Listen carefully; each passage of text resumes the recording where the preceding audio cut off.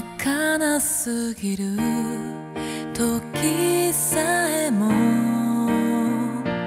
今では愛おしくて君に会って寂しさの意味やっと気づいたんだよ。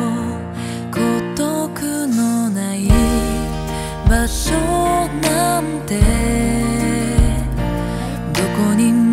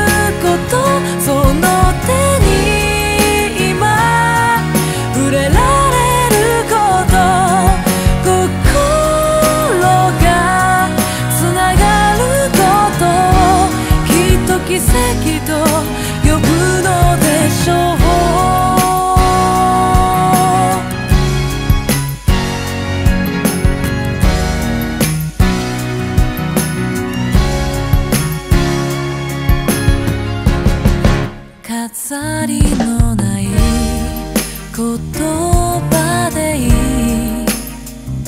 あなたに伝えたくて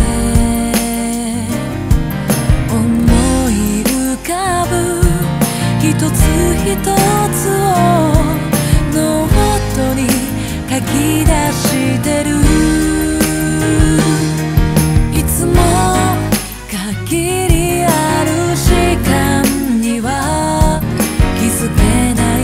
ことの方が多いけど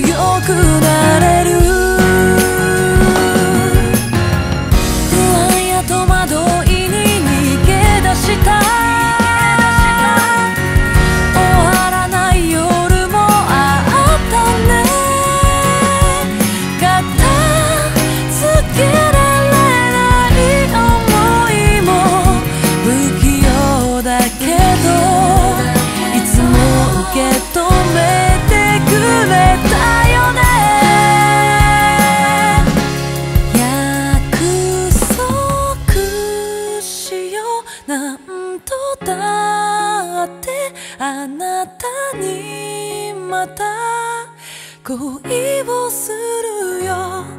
今度は私が先にあなたを見つけるから。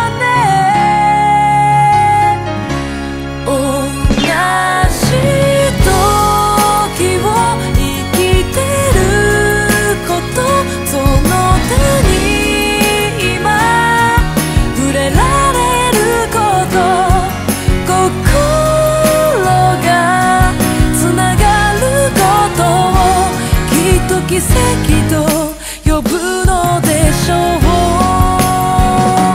きっと奇跡と呼ぶのでしょう。